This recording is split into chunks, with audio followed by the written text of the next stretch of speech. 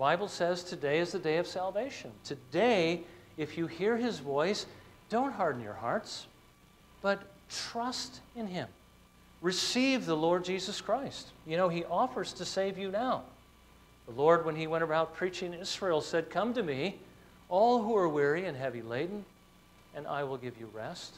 He also said, The one who comes to me, I will certainly not cast out.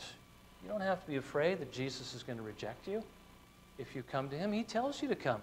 He offers to be your Savior, He offers to free you from all the things that will destroy you. And He will even give you a place in His own family and love you more than anyone has ever loved you before. That is His free offer.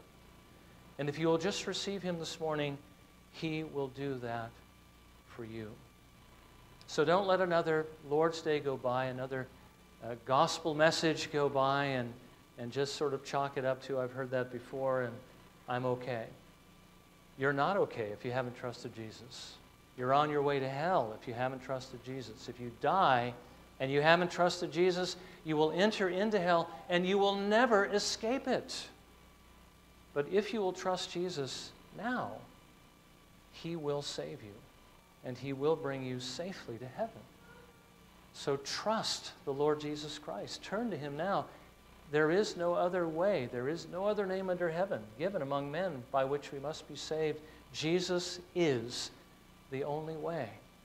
So come through that door to God. Trust in Him, and He will save you.